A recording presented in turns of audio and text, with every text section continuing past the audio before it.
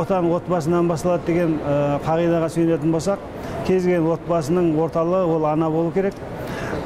Біз бүкіл ұлттық діни мәдени бүкіл құндылықтарымызды аналар арқылы ғана тасымалдай алатынымызды білеміз.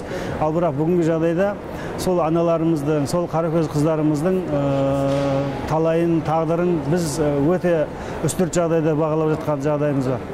Қыздарымыздың бізге ең бірінші байқап отқаным діни сана әсіресе діни білім беруді біз қыздардан бастауымыз керек деп ойлап отырмын дәл қазір себебі бүгінгі мәселелер бұл тек қана жай рационалды ойлап қана қоймай бұл күйінетін адамға өте бүгінгі жаһандану жағдайында бүгінгі мынау ақпараттық қоғамда қыздарымыздың осындай төмен халге түсіп қалуы өзінің еркін ақыл ойын қолдана алмау деңгейіне түсіп қалуының өзі олардың анау әлсіз жыныстан көрі мынау белсенділіктің де төмендігін төмендеп бара жатқанын көріп жатырмын.